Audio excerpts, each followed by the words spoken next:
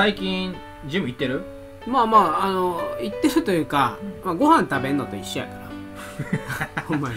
呼吸するようにそうそうそうそうそうご飯を食べるようにそうそうそう。眠るようにジムに行っている。そういうことですよ。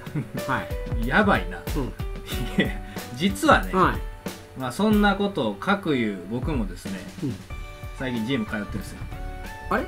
なんかその割には効果出てないねけど。なんか手伝おうか？いやいやいやいやいやまだうん。まだですよ。うん。まだ5回ぐらいしかっやい。や それ何ヶ月で5回なてないいや半年で5回とかいやちゃうじゃもうちょっと頑張ってるそれね頑張ってる。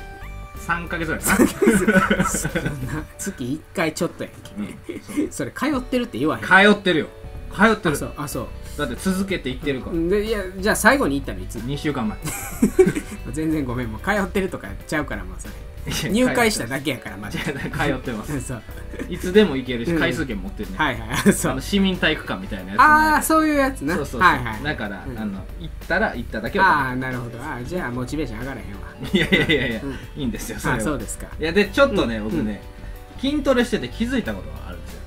ああ自分と体重の重さやろ。いやそれは気づいてんあの気づいてる。体重計乗るからいつも、はいはいはい。わかんねえそれ、うんこうちゃんと動ける体を作っておくっていうのは、うん。その筋肉云々とかじゃなくて、うん。それ自体がすごく大事やなってことに気づいほうほう最近はもうそんなに頻繁にスポーツせえへんけど、うん。こうジム行ってうん。体動かしてると、うん。こう何事にもフットワーク変わる行動に移せる気がするんだよ。まあそれ多分なんかなんかの間違い間違いじゃないか、うんうん。おかしくなってる。おかしくなってないねジーザスも、うん。誘惑に陥らないように目を覚まして祈っていなさい。心は燃えていても肉体は弱いのですって言ってることですね。いやあのごめん。全然関係ないですよ。え？鍛えなさいとは言うてませんからね。いやいやいや肉体がさ、うん。弱いから、うん。誘惑に陥るんやろ？ほう。まあ目を覚まして祈っていなさい。ほう。ほう。ね。だから祈りながら鍛えたら一番ええねあ誘惑に陥りにくくなっていくってことやねん。いやあーまあそれこじつけのような気もするけどね。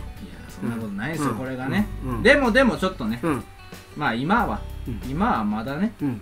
肉体が僕の肉体が弱いからは誘惑に陥ってしまうし、はいはいジム通うのも難しいけど いやそれもぜだできないループはまってるやんそれ。